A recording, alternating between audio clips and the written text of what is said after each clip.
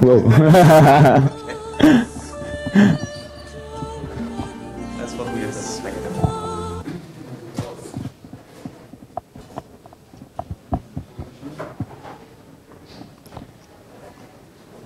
Okay, ladies and gentlemen, welcome. Good morning. Nice to see all you there at this early time on Sunday. Well, we're just starting with this screen. The comment you see here is from a teacher in America saying, Hey guys, what you're doing is absolutely illegal. It can't be true that software is free. And that's why we do this one. Just to tell you, we are doing free software, and yes, we want to tell children about it. We want the children uses free software and something somebody told me it's good to use free software and to free your mind. Okay. My fault, sorry.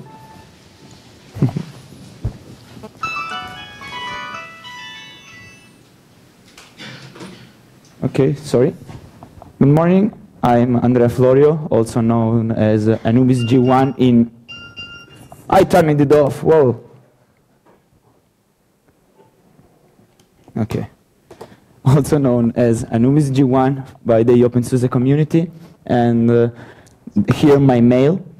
I am a Packman packager since uh, 2007, and uh, I'm proud to join the, the education project last year. Uh, I started as a, a, normal packager, but later, uh, thanks to Lars, I, I became the, one of the four administrators. Right now, I maintain several packages in uh, our repository. Uh, I lost the count, really. and um, my job is the technology teacher in the QSI International School. that is um, a school international where uh, sons of uh, United Nations employees uh, go on, on several states. He is Lars Vogt and he can talk. okay. Welcome, my name is Lars Vogt. I'm formerly known as Lars Rupp and my nickname is Kleiner Eisbär. It's a special name for the Germans under us. And um, currently I'm working for the auto build or distribution team for SUSE and uh, joined the education team around 2006. Before I worked on a special product called SUSE School Server and uh, therefore I have some knowledge about the education thing. I'm currently maintaining around 250 packages in the education repository and as you might see, that's far too much. And I hope I can give away some of those packages to the upstream developers in the near future.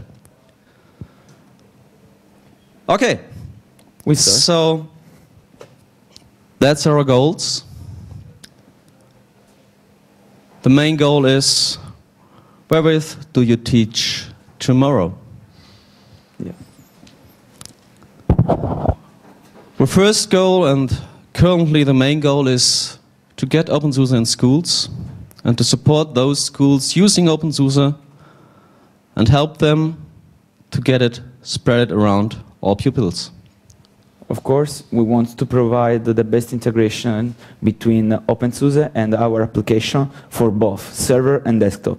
Why? That's uh, uh, why uh, for us uh, clients are important like servers because without them uh, we can't provide a good environment in schools. You know, lots of schools work using Active Directory, and we think that we can completely uh, substitute Active Directory with OpenSUSE uh, education.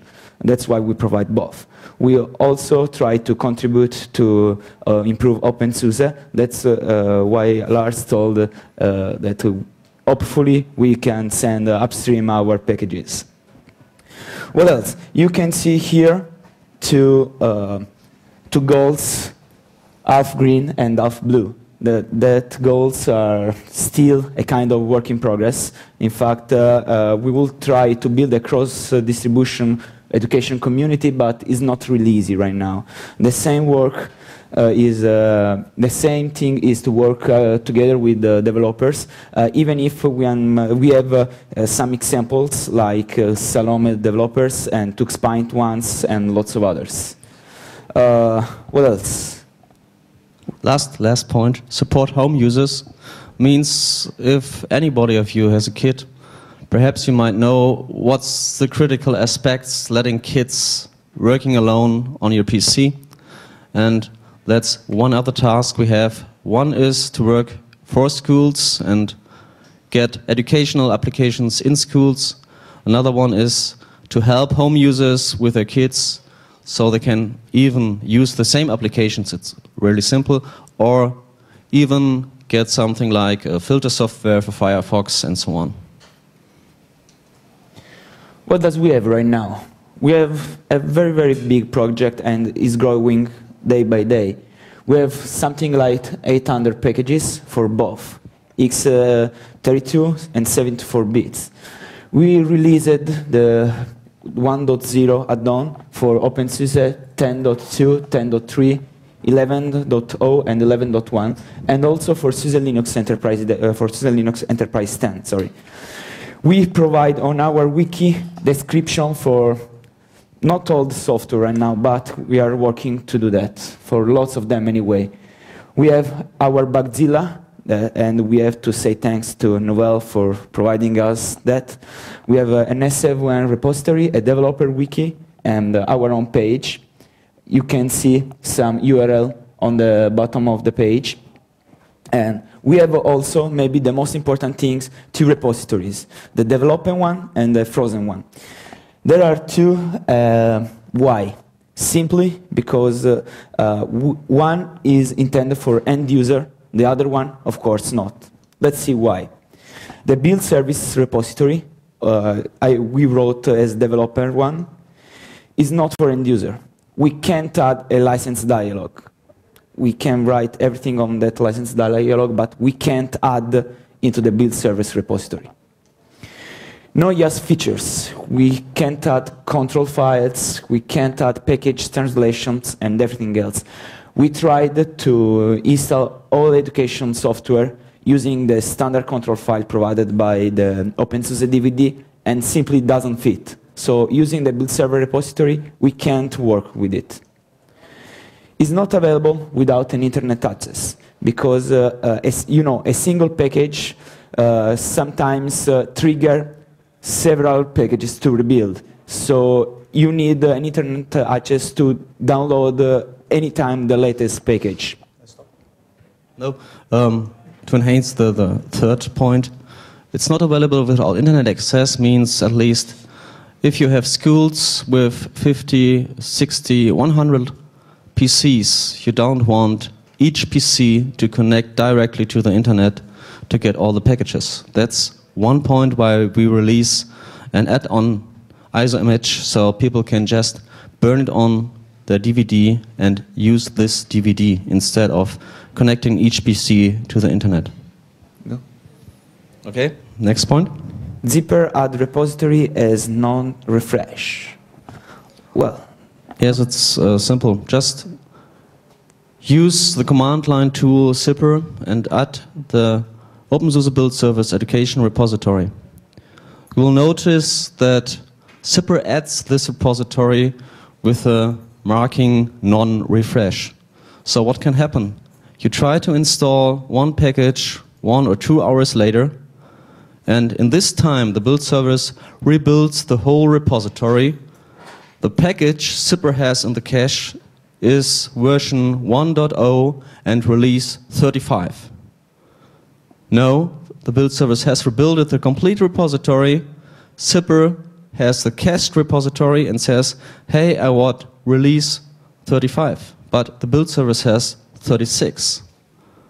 And that's when Zypper tells you, sorry, this package is not available. Refresh means download at least the metadata. if even if you have an internet connection to refresh all the time, you have to download at least 4 megas. So it's a waste of time, is a waste of internet uh, bandwidth and everything. No end user information. Why a package has an higher version or release number? This is maybe one of the most important points. In fact, on uh, using a build service repository, we can't provide information before, uh, so before install uh, a package.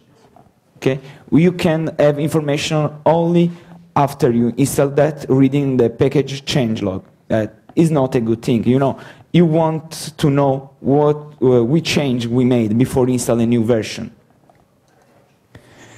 Packages can be broken during testing. You know, that's a, develop, a development repository. We apply change, we apply patches, and uh, sometimes packages are broken. And even if a test is uh, any, always welcome, an end user don't care about broken repository. Otherwise, he wants only stable one. Wait, wait, wait. So, no, one Sorry. back, please. okay, that's our reasons for using the build service for developers and for testers. That's our reasons at the moment why we can't use the build service for end users.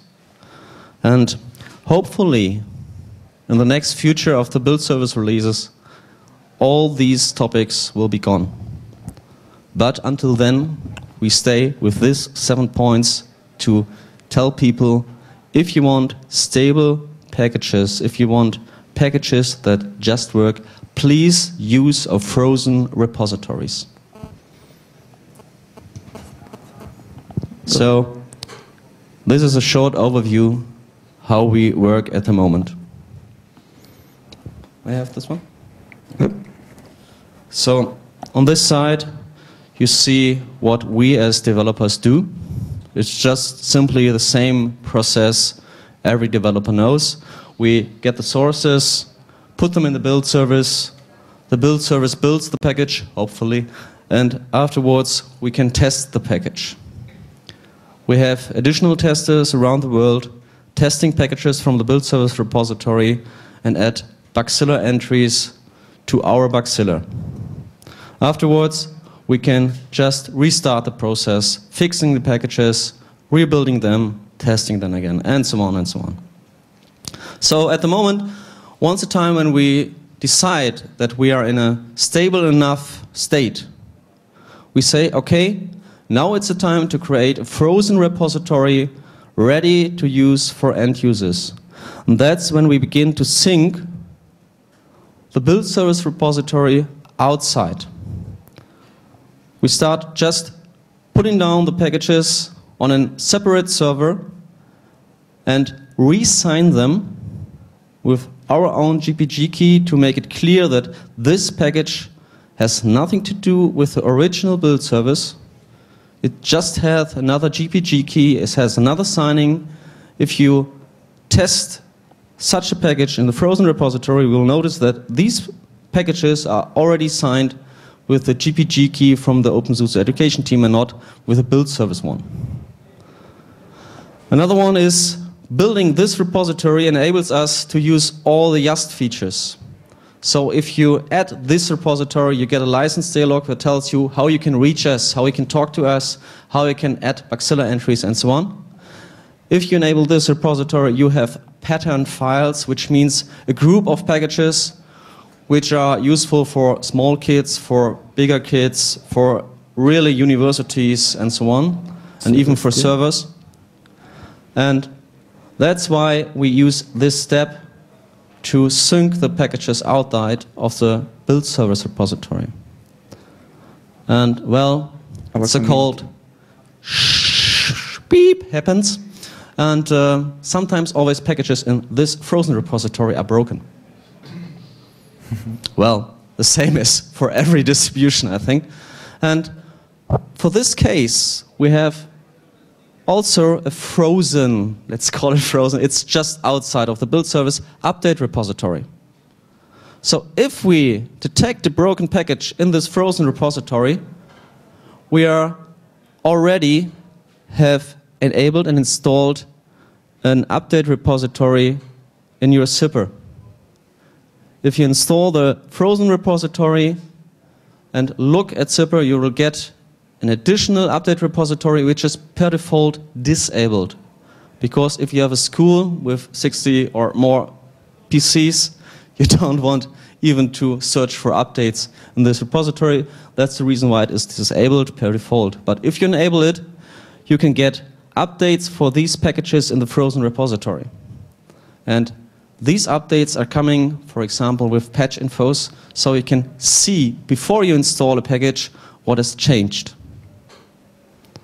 And uh, of course, we don't have to forget our community. In fact, using mailing lists, IRCs, and uh, the, we, uh, the, Bugzilla wiki request, we can uh, have all the information we need to provide new packages to fix the bugs uh, we can find. And everything works with uh, our Bugzilla. Everything will be moved there. Without it, our work is very, very difficult. So our community is maybe the, the core of, uh, of our work, of our team. Without it, we can't work. Well, we have we've talking here mailing lists, IRC, forums, and so on. All your possibilities where you can talk to people outside, talk to the community, and often the community tells us, "Hey, I want this package," or "This package could be a better package," or so on. And to not get lost this information, we currently just use Bugzilla. So we have, for example, an own wish list in our Bugzilla, so people can just add new package wishes. Yep. Going on. Okay. Well, we talked about that, about that yet, but uh, we can review again. As told, we have update and frozen repository. But uh, what are benefits? Using a frozen repository, you don't need to refresh it. It's frozen. We follow the same policy as uh, OpenSUSE repository. We have a frozen one and an updated one. The first one is not need to be refreshed. It's well tested and and, uh, and packages are stable. Is full, we have one GPG key that fully control everything, and is an add-on media. We can we provide an ISO and we and everything starts automatically. Is uh, is easy and easier to document. We, in fact, uh, uh, usually provide documentation about the most important packages with the repository and the ISO image and it's easier to file bug reports because you know exactly which version, which release of a package uh, is buggy. Using the, bug, uh, the um, OpenSUSE build service repository, you know, the package is built anytime, and maybe you file a bug report that has been fixed on the, the next release. Using the update repository instead, uh, yes, is uh, added automatically and uh, is not uh, refreshed, uh, is not set as auto refresh. You have to enable it. But uh, most important things, as, as we told before, is it contains patch infos. You see in the uh, OpenSUSE update applet what kind of change has been made on the package. If you agree with that change, you can install the package. It is something you can compare before the, the installation.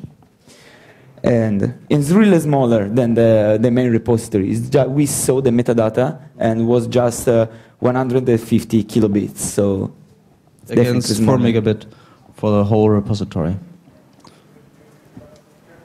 Okay. Well, we have to say thanks to lots of people, starting from OpenSUSE, Novell, my Linux user group, user group the Linux, uh, the Brilux, sorry, XTIS, Tux for my Tux for Kids, and Didasca is an Italian group uh, that provide uh, that provide open source, uh, sorry, open source ECDL.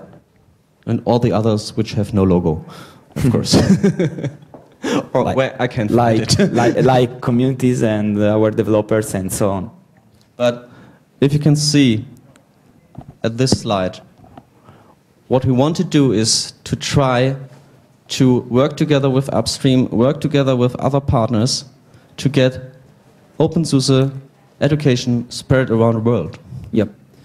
That's why HP and Novell started an, an education project, and uh, last week maybe they they they fired news uh, telling uh, thanks to us for our work. They and Novell looks like uh, looks like that uh, would uh, to work together with us to improve our packages and uh, provide uh, anytime a best uh, and better uh, add-on media for education. Just, just for the information, currently we have around 20 packagers alone in the education build service repository, which does not mean that these are all. We have many more people around the world Yeah. starting testing. By testing, they are helping us or helping people with their packages. So if you look at the forums and search for education, you find many, many requests about packages for the application repository and already people in the forums helping each other to get this running. And uh, even upstream developers are now starting to work with us. So if upstream says, hey, it's a good tool, we can start something. For example, we have already packages for Fedora, and some people already ask us to build also their packages, their software for Debian and Ubuntu.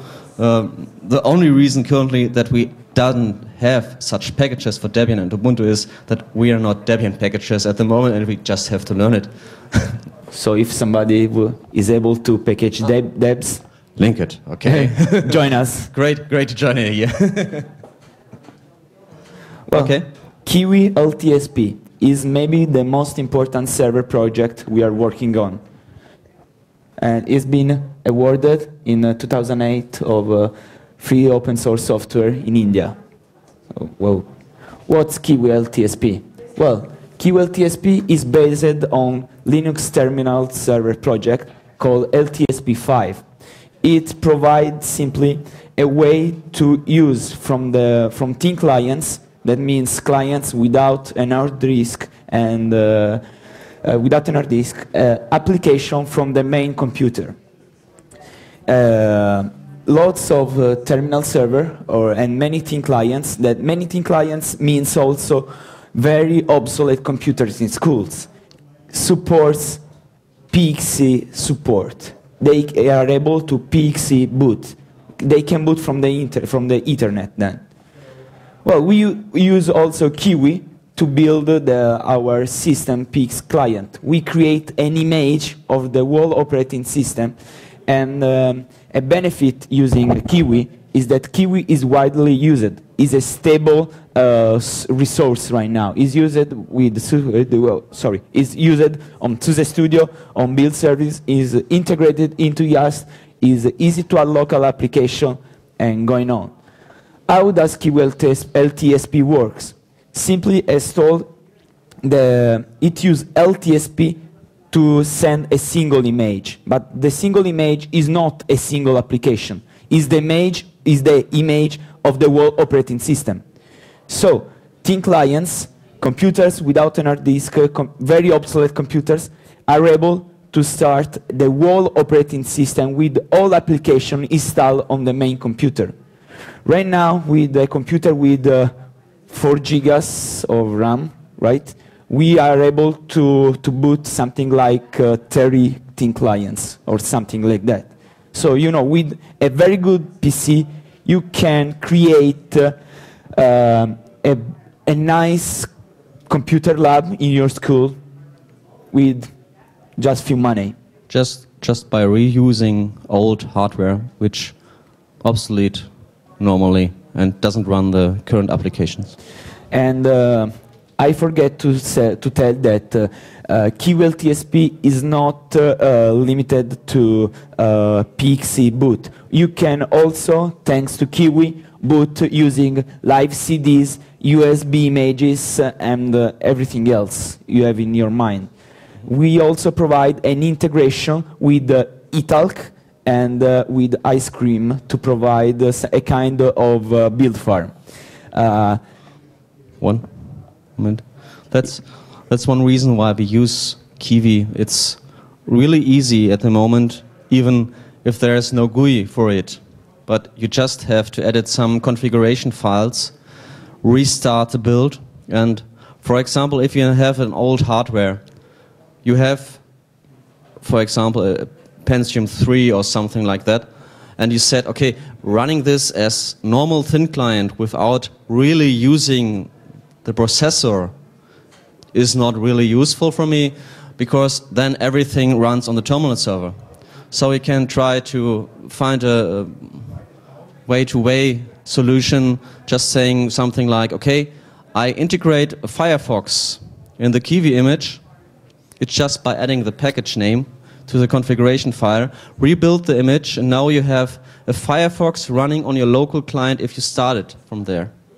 So the terminal server doesn't have to run Firefox, all the clients run Firefox. And so you can test how much your hardware works and you can find the best solution for your setup by just adding packages which can be run locally. For example, I don't think you want to have OpenOffice run on your local client, but other apps maybe are useful for that. And we are we have also uh, CyberOrg and uh, other developers that uh, builded a, a, kind of a GUI for Kiwi LTSP uh, called Easy LTSP. is uh, an easy configurator that allow you to set up just few things and uh, press OK, stop, everything is working. But how can you install Kiwi LTSP? Well, the easiest way is to use the one-click install or maybe use uh, our patterns provided on our frozen repository. And uh, that's all. Install the packages, start easy LTSP, and you have to configure at least the server IP address and ADXCP range. That's are the minimal requirements for have a Kiwi LTSP working. You can, of course, also add the, the packages you want to install. You can uh, uh, customize your, uh, your configuration. But that's the simple things you need to work. Once you did it, just press on OK. Uh, EasyLTSP will start the setup process, will start the TFTP server, the DHCP server, and nothing else. You simply have to boot your thin clients from network maybe, or using uh, CDs or uh, USB sticks, and whoa, you have now your thin clients working OpenSUSE with educational software, of course. Yeah. So I think this is the time where everyone can ask questions. yeah. No? Okay, so yeah. Yes. I'm going to close here. So. Hello, I'm I'm the author of gCompris, uh, yeah. software in, in education. And you, so you're talking a lot of the infrastructures that you build to deliver OpenSUSE, and you didn't talk a lot about the content itself. So where are we in terms of content? Are the teacher or the school can already find everything they need uh, in uh, OpenSUSE or in the free software community? Or do we still have some big uh, miss in the application stack? Yes, by the time, welcome Bruno. yes, um, question about applications that are there or that are missing. Um, it's not easy to answer because we have, as I told you already, over 800 packages. gCompris is one of the things, uh, PhysiCache or the other applications for small kids are uh, also there. So if you like to compare uh, the OpenSUSE release and, and other releases like Fedora or Debian, we are currently at the same stage. So this is not the problem. The problem is that we need feedback from schools, from the users. That's the really reason that we have, because we can package thousands of packages if nobody uses it, or better, nobody tells us which packages are useful. It's not worth the work, no.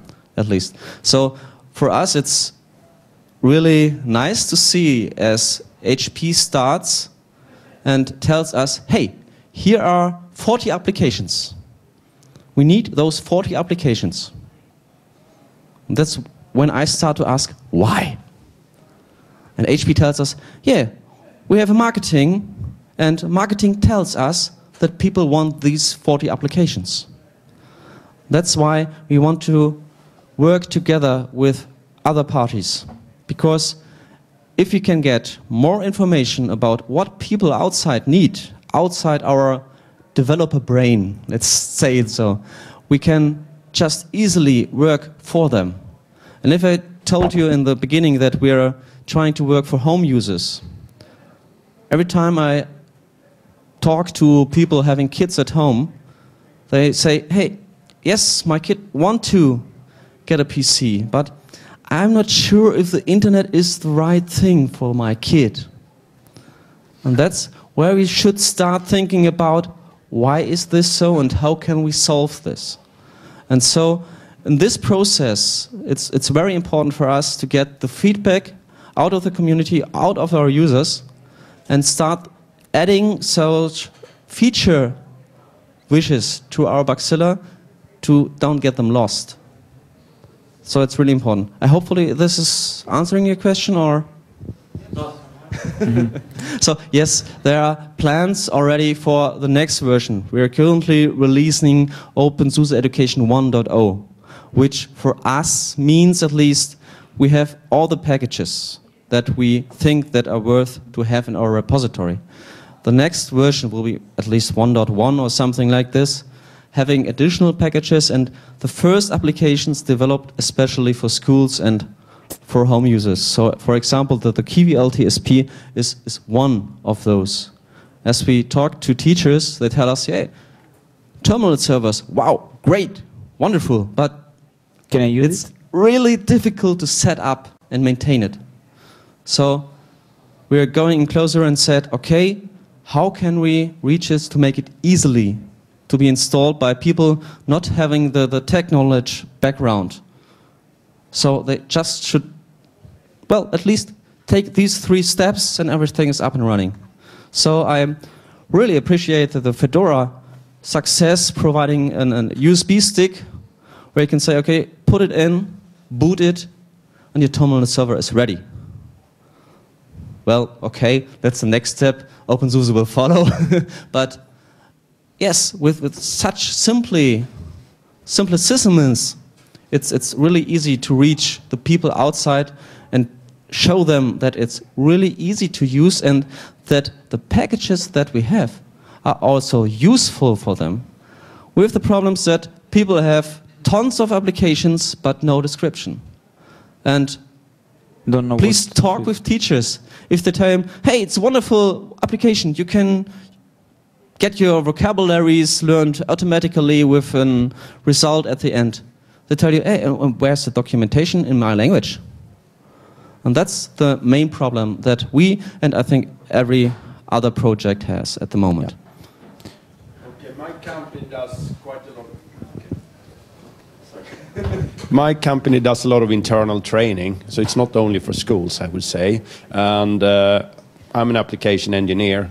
Sometimes we do training on Linux, so we get the live CD and we can't store any of the results. So that would be one of the key benefits of having a live CD, live CD that could directly connect to a server where you could generate automatically a home directory. So you could retrieve data. That would be a big benefit, I would say, if you had that type of function. Okay. Thank you. That's one of the features for our Bugzilla. and it's not easy, uh, not really complicated to implement because we have already such live ISOs you can put in. They're booting via PXE and uh, don't touch your hard disk.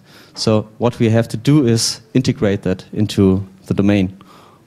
Okay. We Thanks. also forget to say that uh, we provided some some month ago the first uh, educational live CD uh, built it using SUSE Studio and uh, allow you to try OpenSUSE Education without installing no, uh, stuffs on on your PCs. So What you also could consider is also instead of storing it on the server, is that you boot from the live CD and then you have a USB key as your hard disk. yes, That would also make life a lot easier. sure. Right. Oh. Just give it.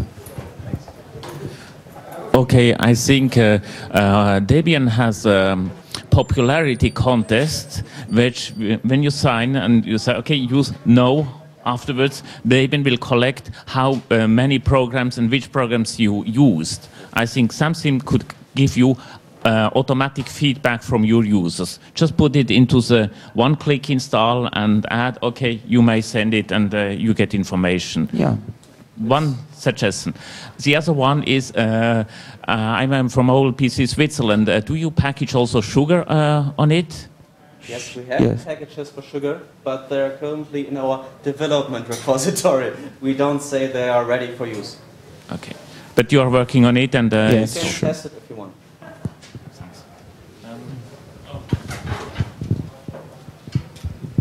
Yeah, I uh, I have a question about uh, your uh, uh, development model.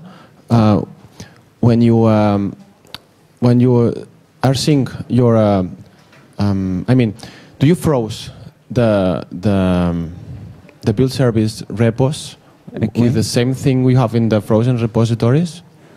So if uh, if I look for a, an application on your build service, I, I, it would be the same version as in the frozen. Yeah, kind of, uh, kind of. We when we reach the frozen uh, the frozen state, we disable building on uh, building and sometimes also updating on the build service repository. Then we go to download everything uh, packages, all that one we consider stable enough, and then with a simple uh, bash script that uh, Lars wrote, uh, we are able to resign everything. They are simple, the same package coming from the build service for reason of com for compatibility reasons. Sorry, because it must be built uh, using the um, open source uh, software repository and uh, stuffs like that. We simply download and resign adding on the frozen repository. Then we, we go to recreate the whole uh, repository structure using tools right, uh, like uh, createrepo, and so the repository is, is ready for use, right? That's it. Hmm? They, sh Yes, they should be the same. Is there, aren't Yes. there's a really big bug? Yes. Uh, do you, do you have, um, you, you talking about open school server, but I don't know exactly what it is. Does that relate with a SchoolTool, the stuff that made Ubuntu to administrate uh, uh, a, um, a school laboratory or, or, ev or the school infrastructure?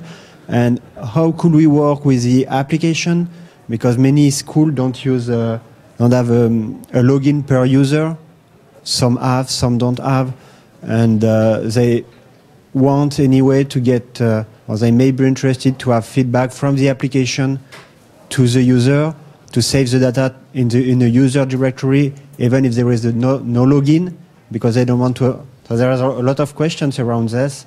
I don't know if you have uh, some ideas or investigated, or how can we work in this area? Well, currently we are working on a YaST model that uh, should be able to manage uh, rights on uh, clients, on on students and uh, teachers' uh, PCs. And using Kiwi LTSP, you are also able to create one single user and allow login for everybody. Or also, if your school is integrated into an Active Directory domain, uh, if you install an SSH server on the- your Windows server, you are also uh, able to log in in Kiwi LTSP using Active Directory accounts. So, um. Um, one thing I have in mind, thinking about storing uh, results of tests and so on for users is something we already evaluated with the school server. Um, we have two options at all. One option is to use the LDAP. So what we have to do is patching each application to allow using LDAP and to tell the developers how to patch so it works. Another option is to use a generic database backend. And that's something the KDE developers already working on it with their KDE Edu applications. But it's in a very, very early state. They are currently just talking about the API and so on. So it's, it's not really that kind of stuff that you currently can say outside users they can use it. But there are discussions about this already, but not a real solution. And um, I just want to wait until we have one or two uh, solutions which can work before we start a, a more generic discussion with our people to get these things working for all applications, hopefully. But it's, it's in the discussion, yes.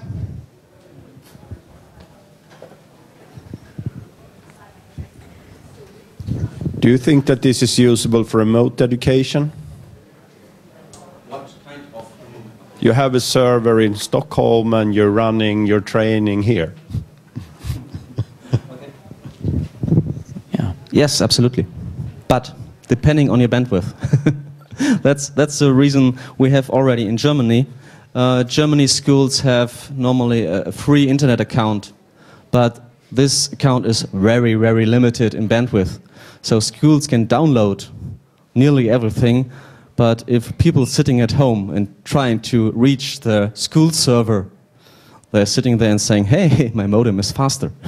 so um, at least I think theoretically it should be possible, and I know already schools are working like this. I know at least one school in Germany have a 10 megabyte or something like that bandwidth, and uh, teachers working at home just connecting via WebDAV to the home directories on the school server.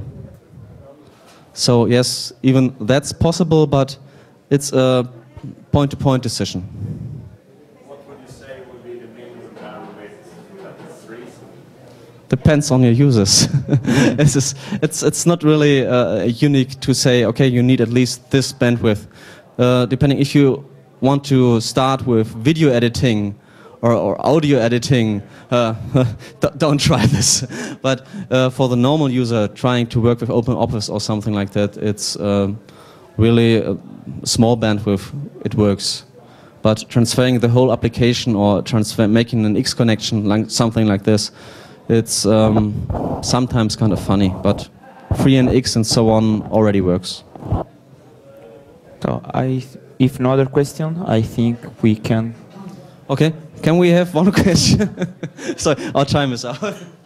Just a single one. A couple of years ago, at the introduction of educational software, uh, you mentioned that the software, the, the education part, was written uh, with the Spanish language and English language. How easy is it at uh, this day to translate it to other languages?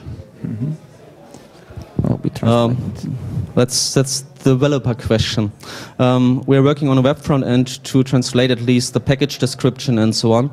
Um, but translating the packages, the applications, it's, it's hopefully something we can do together with upstream. So every distribution will benefit of it. Okay, okay. so if you have further questions, please contact us at the booth.